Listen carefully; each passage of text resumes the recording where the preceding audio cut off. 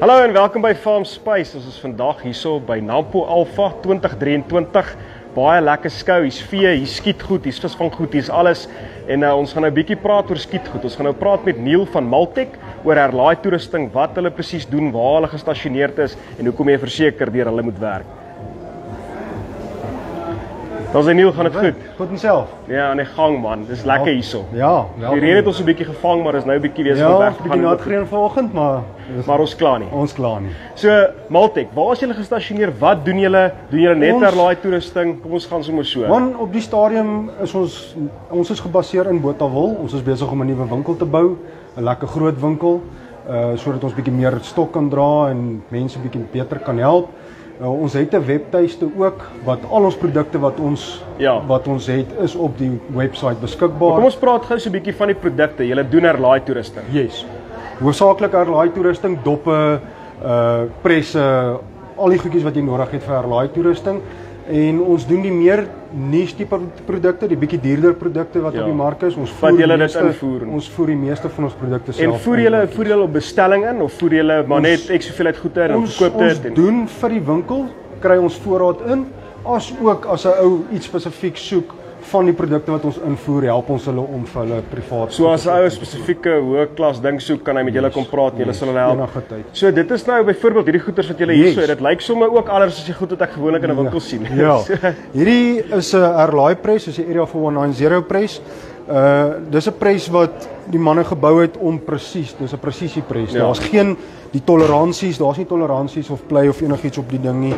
Uh dis 'n aluminium press. ja, al die menslike fout uit die uit die herlaai uit. Yes, 100%. Dan hierdie is 'n wys.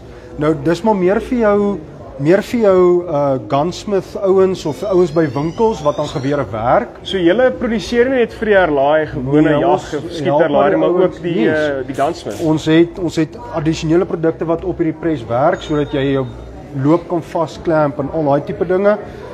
Uh ja, en dan doen ons ook die lap radars, die annealing masjiene bring ons ook in waarmee jy jou doppe anneal Ja, om ja. jou konstantheid reg te kry. Dan is ons ook die enigste importers van super trickler in Suid-Afrika. Die enigstes. jy sien, daar's hy. Mense as jy dit by so Multech kry. Nou wat maak hom so spesiaal? Hierdie ding, jy gooi jou kruit in uit artificial intelligence in. So jy gooi jou kruit in, jy sit jou jou ons kan hom hier aansit. Dan lyk dit eh, soos 'n disco. Yes, lyk amper soos 'n koffiemasjienkie.